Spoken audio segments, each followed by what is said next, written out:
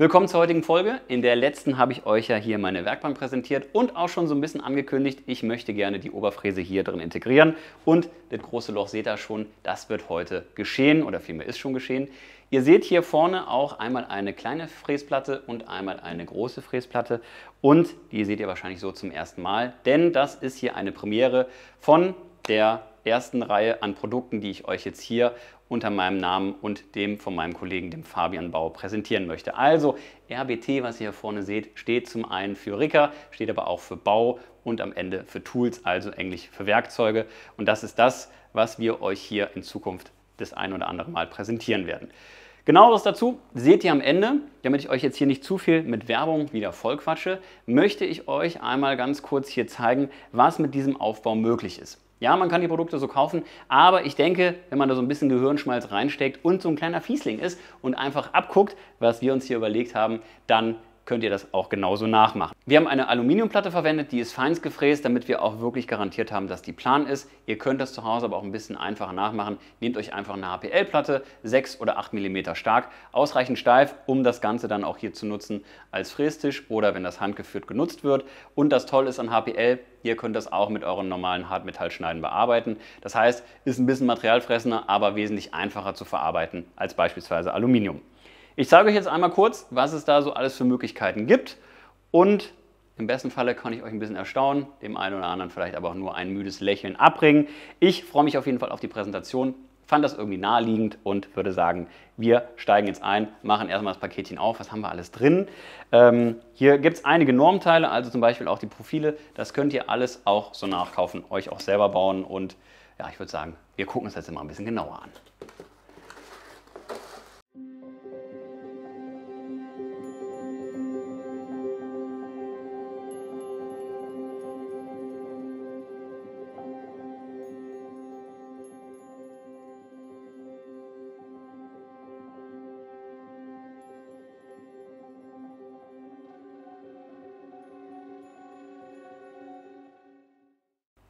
Wir brauchen also eine stabile Trägerplatte und in unserem Falle haben wir jetzt nochmal hier ein bisschen Material unten drunter gepackt, also 3 mm Kunststoff, damit das Ganze ein bisschen besser gleitet und wenn dann doch mal irgendwie Beschädigungen auftreten, dass man das Ganze ein bisschen kostengünstiger austauschen kann.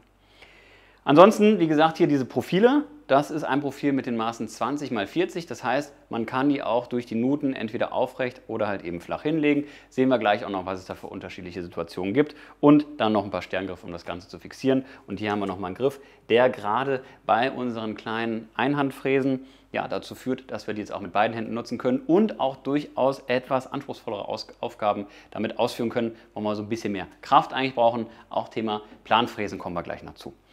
Wir fangen jetzt erstmal mit ähm, ja, so ein paar grundlegenden Sachen an. Nuten, Falls herstellen ist ja eigentlich erstmal so eine Standardaufgabe von der Oberfräse, aber es gibt ja durchaus da so ein paar kleine Problemchen, die auftreten können und die kriegen wir, dadurch, dass wir jetzt zwei Anschläge haben, hier sehr gut in den Griff. Wenn ich jetzt exakt mittig fräsen möchte, dann haben wir hier noch eine Kleinigkeit integriert und zwar ist es ein Mittenfinder. Ihr seht, jetzt muss einfach nur die Zylinderkopfschraube eingedreht werden und jetzt nehmen wir hier unser Holz legen das zwischen diese beiden Zylinderkopfschrauben einmal ein. Links und rechts wird jetzt der Anschlag angeschoben und damit ist jetzt garantiert, dass wir wirklich mittig fräsen können. Ihr könnt auch sehen, die Anschläge sorgen auch dafür, dass ich jetzt, obwohl ich hier das Ganze aufrecht eingespannt habe, 18 mm Auflagefläche eigentlich nur bestehen, das Ganze trotzdem sicher geführt werden kann. Es kippelt nicht nach links und rechts und wir fräsen jetzt hier einfach mittig die Nut. Und ihr könnt sehen, auch nochmal kurz nachgemessen, wir haben wirklich links und rechts hier den gleichen Abstand. Das ist doch schon mal gut gelaufen. Ja, es kann natürlich mal hier und da ein Zehntelchen Abweichung geben. Eigentlich ist die Idee, dadurch, dass die Löcher gesenkt sind, dass das Ganze sich auch möglich mittig zentriert. Ja, natürlich kann es da auch mal Abweichungen geben, allein schon bei der Produktion von der Fräse. CNC gefräste Platten, ja, je nachdem wie sauber ihr das zu Hause ausarbeitet, kann es natürlich mal zu leichten Abweichungen kommen. Aber ich denke mal, dass wir so grob in die Mitte kommen, ist bei den meisten Aufgaben wahrscheinlich schon ausreichend. Vielleicht erinnert ihr euch, wenn wir beispielsweise auch Zapfenlöcher so herstellen, was ja damit auch sehr gut möglich ist, sofern ihr die Tauchfunktion habt. Das gibt es ja auch zum Nachrüsten hier bei der kleinen Makita oder halt eben hier bei den klassischen Oberfräsen, die diese Funktion haben. Dann können wir damit halt eben auch Zapfenlöcher ausarbeiten. Und wenn wir dann halt eben das passende Gegenstück dazu so ein bisschen schmaler machen, dann ist da so ein leichter Versatz auch gar nicht so schlimm. Das haben wir. Falz herstellen ist auch kein Problem. Jetzt wird die Schiene einfach nur umgedreht und wir haben dann eine ausreichend große Aussparung und damit können wir dann halt eben auch randnah arbeiten. Das ermöglicht uns zum Beispiel auch einfach jetzt hier unsere Kantenfräse so umzubauen, dafür ist jetzt diese kleine Platte gedacht, dass wir auch problemlos unseren Anleimer bündig fräsen können. Wenn ich den Anleimer bündig fräse, dann versuche ich da immer noch ja, so ein kleines Zehntelchen, vielleicht zwei Zehntel Abstand zu unserer eigentlichen Trägerplatte zu haben. Könnt ihr euch einfach ein Blatt Papier dann dahinlegen, darauf absenken. Dann ist es eigentlich so der Abstand, den wir brauchen. Ja, und dann kann man einmal hier mit der Fräse und der entsprechenden Fräsplatte, die sorgt dann für den Abstand, 6 mm stark. Das heißt, den Anleimer, den sollten wir auch maximal natürlich 6 mm darüber stehen lassen, im besten Fall ein bisschen weniger. Rechts der Anschlag mit der Aussparung sorgt jetzt dafür, dass wir auch wirklich gleichmäßig das Ganze nach vorne bewegen können. Ja, und dann haben wir den ganzen Anleimer auch schon bündig abgefräst. Gehen wir jetzt noch ein, zwei Mal mit dem Schleifklotz drüber und dann ist auch wirklich garantiert, dass es absolut bündig ist. Wenn ihr jetzt versucht, in Ewigkeiten das Ganze so einzustellen, dass ihr wirklich perfekt so den Anleimer abnimmt, dann ist es natürlich schon ein Risiko, wenn die Platte nicht kalibriert ist und es vielleicht hier und da mal so einen kleinen Kippmoment gibt, dann kann das schon sehr ärgerlich sein. Also lasst lieber noch so ein klein bisschen stehen, geht dann hinter dem Schleifklotz drüber und dann gibt es da auch keine Ärgernisse, auch wenn man vielleicht mal irgendwie in empfindlichem Material arbeitet. Hier wird jetzt ja nochmal überfurniert, aber vielleicht direkt so eine HPL-Platte oder Linoleum, was ihr auch immer da als Platte, als Oberfläche habt, ist natürlich nicht so gut, wenn das dann hinterher nochmal angeschliffen wird. Eine Menge Möglichkeiten, wenn wir jetzt schon mal gerade dabei sind, auch hier sowas bündig abzufräsen, dann können wir auch ja, diese berühmten Butterfly Inlays, also wir haben den Riss im Holz, können wir jetzt hier sehen, kann man natürlich auch wunderbar mit dieser Methode hinterher planfräsen. Ja. Gut, ich zeige natürlich auch immer wieder mal Sachen, die ich jetzt nicht so spannend finde, aber ich Fabi auch schon gesagt, ich habe das mal vor sechs Jahren gemacht. Ist nicht so meins, aber wer das schön findet und bei manchen Sachen, gerade wenn wir halt eben so ein bisschen rustikal arbeiten und da ist der Riss halt eben drin, wir möchten ihn erhalten, dann ist das eine Top-Sache.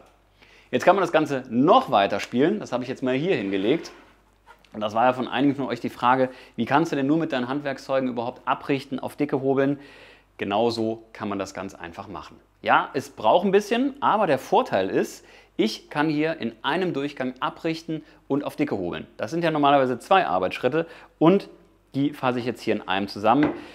Könnt ihr jetzt hier sehen, wie das Ganze ausgeführt wird. Ja, eigentlich relativ simpel. Da ist der Vorteil, wir können das ja umlegen, dass wir hier in der Höhe einmal auf 20 mm kommen und einmal auf 40 mm. Das ist ja eigentlich das, was ich in der Regel so als zumutbar finde, wenn wir jetzt hier mit der Oberfräse arbeiten. Ja, breite Bohlen damit zu machen, funktioniert natürlich nicht. Ich mache hier überwiegend Stollenbau. Das heißt, ich habe jetzt hier vielleicht so das hier als maximale Größe. Dann kommt da eine Füllung rein und das ist dann für mich, wie gesagt, vollkommen ausreichend.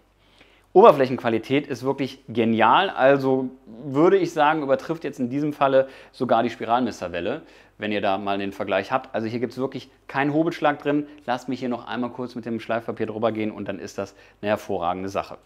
Ich habe das jetzt hier mit der kleinen Kantenfräse gemacht. Der Fräser, der da drin ist, hat einen Durchmesser von 16 mm. Dauert natürlich ein bisschen, keine Frage. Natürlich entsteht hier auch ein bisschen mehr Sparen. Müssen wir uns also vielleicht noch ein bisschen was überlegen, ein bisschen stärkere Absauge. Vielleicht könnt ihr auch dafür sorgen, dass ihr links und rechts einfach die Möglichkeit habt, ein bisschen rumzusauen. Ja, das ergibt sich halt eben durch Feinstaub, wird abgesaugt, bisschen gröbere Krümel, die funktionieren halt eben nicht so gut beim Abtransport. Da muss man dann erstmal mit leben. Kann man sich natürlich auch überlegen, ob man hier vielleicht auch nochmal äh, so eine kleine Bürste mit reinmacht. Das überlegen wir uns nochmal. Ja, also Möglichkeiten nach oben gibt es auf jeden Fall noch. Ich finde das eine spannende Sache. Vor allem, weil es auch gerade, wenn man einsteigt, eine relativ ungefährliche Art und Weise ist, Holz abzurichten. Ja, Abrichte, leider schon viele Arbeitsunfälle erlebt, sind leider bei der Abrichte halt eben möglich. Die Messerwelle liegt da offen. Eigentlich soll sie abgedeckt werden. Ich sehe leider viel zu viele Videos, in denen das nicht gemacht wird oder man sagt, oh, ich finde die gerade nicht. Ja, passiert euch nicht. Wenn ihr hier eure Hände dran habt, dann ist das meines Erachtens die sicherste Methode, Holz abzurichten. Wenn es halt eben jetzt ein bisschen breitere Bohlen sind, wir haben jetzt hier eine maximale Breite von 12 cm, das ist ja schon ein bisschen was, ne? und wenn wir davon dann ein paar verleimt haben, können wir uns damit auch den Tisch bauen. Scheut nicht die Anstrengung, denkt dran, ne? man kann irgendwie immer an sein Ziel kommen, dafür ist der Kanal hier auch gedacht und wenn es dann halt eben mal ein bisschen mehr Arbeit ist, naja, mein Gott, Dafür haben wir, wie gesagt, aber auch schon eine tolle Oberflächenqualität. Sparen uns viel Schleifen, sparen uns, wie gesagt, das Abrichten, hin und her manövrieren. Denkt aber darüber nach, es ist keine universelle Lösung, ganz klar, aber es ist eine günstige, einfache Möglichkeit, die zudem noch sicher ist. Was will man eigentlich für den Anfang mehr? Und wie man damit professionelle Möbel baut, könnt ihr euch gerne auch hier auf dem Kanal ansehen. Schon eine ganze Menge. Tja, dann haben wir natürlich auch noch mal so, ich sage jetzt mal eher, ja, eigentlich möchte ich sagen Spielereien. Hier den Kreis. Warum eigentlich Spielereien? Ich habe zuletzt ähm, einen schönen runden Tisch gebaut. Den seht ihr dann bald in der Holzwerken im Stil des Biedermeiers. Das heißt, aufwendige Furnierarbeiten, aber das Thema rund. Und da habe ich hier das Ganze wirklich sehr schätzen gelernt. Also tatsächlich seit langem mal wieder, dass ich Kreise überhaupt machen musste. Wir haben hier die Möglichkeit mit dieser kleinen Platte das Ganze wirklich von geringsten Kreisen, habt ihr jetzt hier gesehen, zu sehr großen Durchmessern, habt ihr jetzt hier mal eingebettet, was das Maximum ist. Ähm, ja, finde ich wirklich eine sehr einfache Sache. Ja, in der Mitte haben wir diese kleine Bohrung von der Schraube, aber da wird uns schon irgendwas einfallen, dass wir das Ganze vertuschen. In der Regel reicht zum Beispiel umdrehen nach innen. Irgendwo wird das Rad ja in der Regel auch befestigt. Ja, und ansonsten finde ich, ist das an der Stelle so klein, kann man verschmerzen. Drückt man irgendwie Tropfchen einreiben, dann ist das schon gut.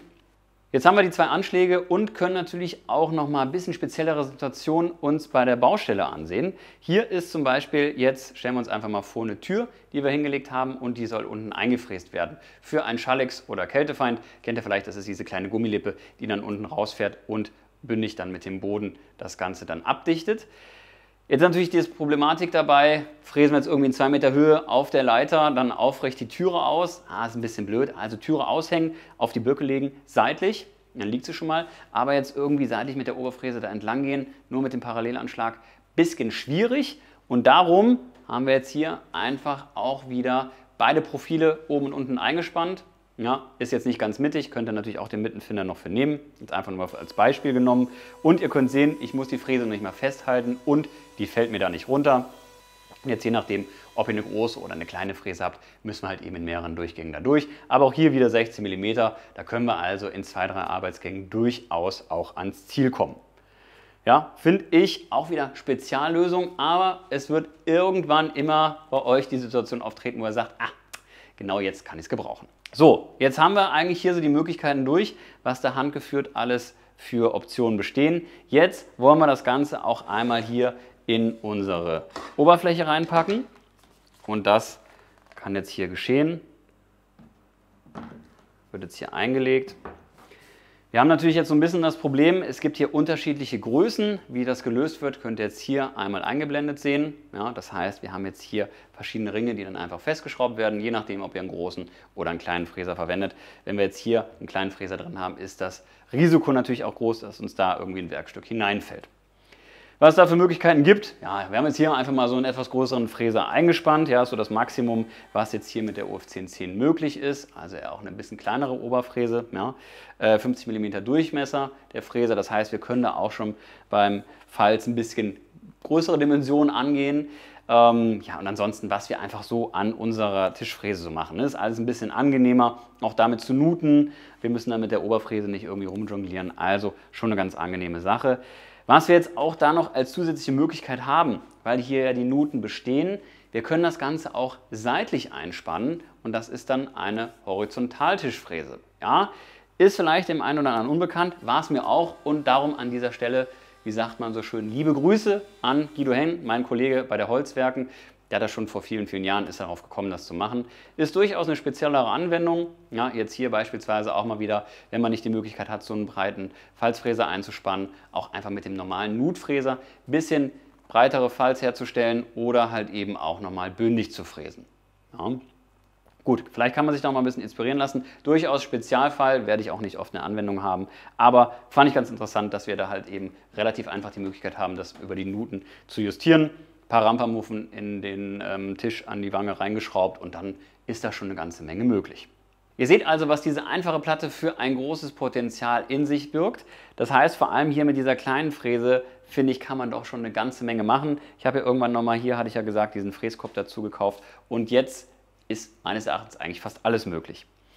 Wenn ihr das Ganze selber baut, hier vor allem die größte Schwierigkeit, glaube ich, sind diese Nuten. Vielleicht macht ihr die Platte von Anfang an ein bisschen größer und würde sagen, nach dem spätestens zweiten Versuch habt ihr dann auch verstanden, wie das mit der Nut funktioniert. Und dann habt ihr eigentlich das System hier nachgemaut. Wie gesagt, der Rest sind Normteile könnt ihr euch auch beziehen. Und dann habt ihr die Möglichkeit halt eben wirklich volles Potenzial selbst aus dieser kleinen Fräse herauszuholen. Wer dagegen sagt, Dominik, vielleicht jetzt die Möglichkeit, hier mit dem Kanal zu unterstützen, also auch nicht, wie das bislang war, spendenbasiert, sondern dass man wirklich sagt, okay, mich interessiert das Produkt, ich kann das gebrauchen, dann schlag doch gerne zu. Wird in der Zukunft auch noch ein bisschen was kommen. Dauert alles so ein bisschen, ja, würde ich dann vielleicht auch gegebenenfalls noch mal ein bisschen drauf eingehen. Es ist durchaus ein Anspruch, den ich hier habe. Das hat auch dafür gesorgt, dass es hier alles ein bisschen länger gedauert hat. Ähm, ich würde sagen, wir gehen noch ein bisschen mehr ins Detail. Darum würde ich jetzt an dieser Stelle mal den Fabian dazu holen. Und wir zeigen euch so ein bisschen die Entwicklung, wo wir uns hier und da was abgesehen haben und was es alles so für Probleme gab. Und ja, ich würde sagen, Fabi, komm mal her da aus der Ecke und dann erzählen wir den Leuten mal was. So, jetzt mal zusammen mit Fabi hier. Wir gehen einmal Pleiten, Pech und Pannen durch. Vielleicht auch so ein bisschen Inspiration und die Philosophie, die wir hier auch in Zukunft haben, damit ihr das einfach so ein bisschen nachvollziehen könnt. Wir steigen direkt mal mit einem Plagiat ein. Das war so ein bisschen die Idee, die uns auch dazu angetrieben hat, hier vielleicht in die Richtung was zu entwickeln. Das kennen wir doch alles schon, Fabi. Was soll denn das? Ja, die Schablone mehr oder weniger haben wir uns nicht ausgedacht. Wahrscheinlich haben es die meisten schon gesehen beim Samurai Carpenter. Dort allerdings nicht mit Nuten außen, sondern mit Löchern, aber die Nuten haben wir auch bei jemand anders gesehen und haben die dann erstmal so rein und damit haben wir angefangen.